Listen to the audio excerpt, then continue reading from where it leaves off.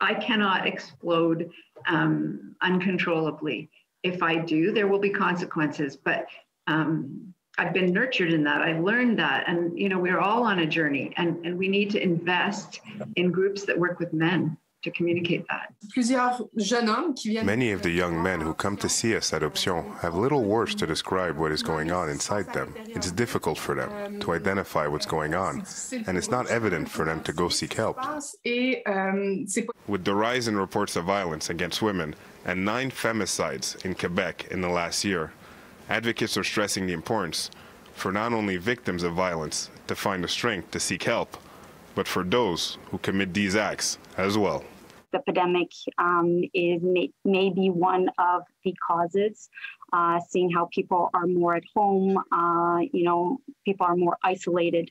Uh, so it's important, sort of, you know, to provide these sort of services uh, for, you know, not only victims, uh, but also for perpetrators of uh, domestic violence. I have heard countless women say to me, my partner refuses to go for counseling well, humble yourself, honey, and get your butt in there because you're part of the problem. To be tough on violence against women, but we also have to look at ways to rehabilitate, prevent, also to ensure uh, that uh, men can unlearn these behaviors and not engage in violent uh, conduct towards uh, women or towards anyone in general.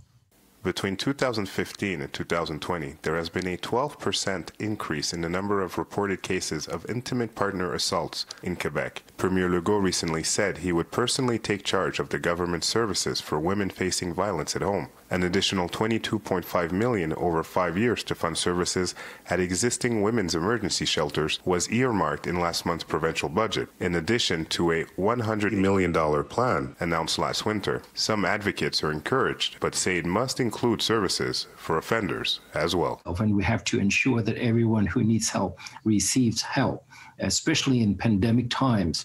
And often um, the needs of abusive men or abusive boyfriends tend to be overlooked. Mais une fois Once that person has stopped and it's possible for them to be punished with a sentence, well, these people need to get help. Because if he goes out and he can't work, for example, something that might cause him to be violent, he's just going to continue with another spouse. Euh, there, there needs to be uh, resources available for these, uh, for these men, um, and we need the funding that goes with it.